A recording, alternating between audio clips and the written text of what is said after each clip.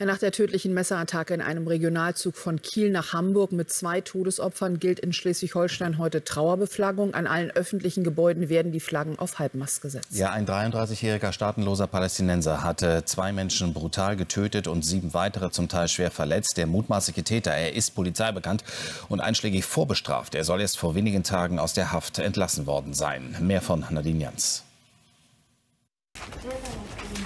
Die Spurensicherung am Tatort ist abgeschlossen. Doch der Schock bleibt. In diesem mit 120 Personen besetzten Regionalexpress attackiert ein 33-jähriger Passagiere mit einem Messer. Zwei Menschen sterben, sieben weitere werden verletzt, drei von ihnen schwer. Der Zug war auf dem Weg von Kiel nach Hamburg. Am Bahnhof der 2000 Einwohnergemeinde Bruckstedt kann er schließlich halten und die Polizei den mutmaßlichen Täter festnehmen. Zeugen hatten ihn zuvor überwältigt. Täter kam zu uns in den Waggon mit erhobenem Messer. War so da, kam so daher und hat einen Kollege oder ein anderer Fahrgast in den Koffer entgegengeschmissen und den Täter überwältigt und wir sind nach hinten geflüchtet. Und dann bin ich gerannt und mehr kann ich leider nicht sagen. Ich habe die verletzten Menschen gesehen, das war ganz, ganz schrecklich, so viel Blut. Hintergründe zur Tat sowie das Motiv sind noch unklar. Zur Identität des mutmaßlichen Täters weiß man bisher Folgendes. Das ist ein staatenloser Palästinenser ähm, von in dem Alter zwischen 30 und 35. Und er ist der Polizei kein Unbekannter. Zwölfmal soll er bereits strafrechtlich in Erscheinung getreten sein. Unter anderem wegen schwerer Körperverletzung, sexueller Nötigung und Scheckkartenbetrugs. Noch bis vor einer Woche saß der mutmaßliche Täter in Untersuchungshaft. Bei seiner Festnahme soll er verwirrt gewirkt haben, hatte sich laut Polizei selbst Verletzungen an den Händen zugefügt. Er wird zurzeit im Krankenhaus behandelt. Das Innenministerium in Schleswig-Holstein hat heute eine Trauerbeflaggung angeordnet. Zum Gedenken an die Opfer sollen die Fahnen aller Behörden und Dienststellen auf Halbmast wehen. Und damit schauen wir nach Schleswig-Holstein zu Daniel Krob an diesem Donnerstagmorgen. Er ist für uns am Bahnhof in Brockstedt. Guten Morgen, Daniel. Ja, mittlerweile ist ja auch mehr über den Täter also bekannt geworden. Wie ist der aktuelle Ermittlungsstand über den 33-Jährigen?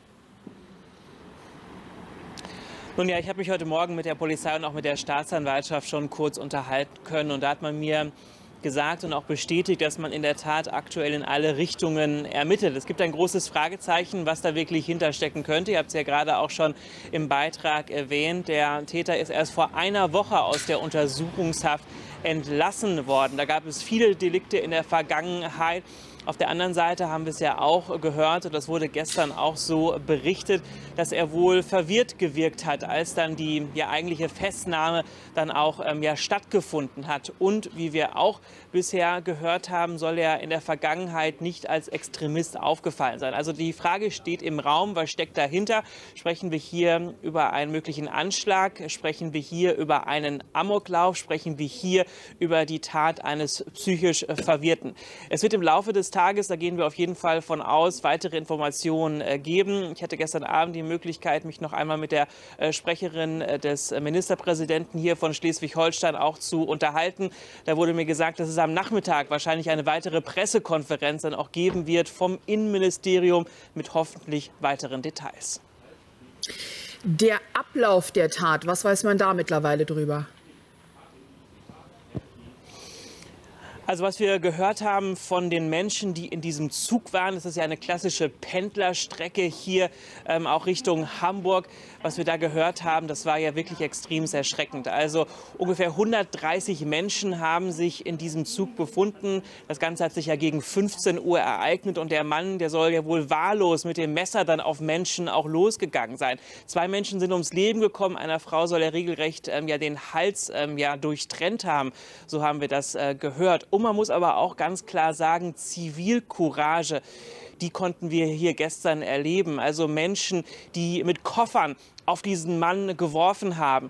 Menschen, die ja versucht haben, den Mann noch vor weiteren äh, ja, schrecklichen Taten dann aufzuhalten. Und so konnte er dann letztlich auch gestoppt äh, werden. Also das waren wirklich Helden, die da gestern mit dem Zug auch unterwegs äh, waren. Der Zug, der war bis gestern ungefähr 19.30 Uhr hier auch noch an diesem Bahnhof und die Kriminalpolizei und auch die Spurensicherung, die hat sich den Zug hier genauer angeschaut. Aber die Ermittlungsarbeit auch in diesem Zug, in diesem Regionalzug, die werden heute fortgeführt werden.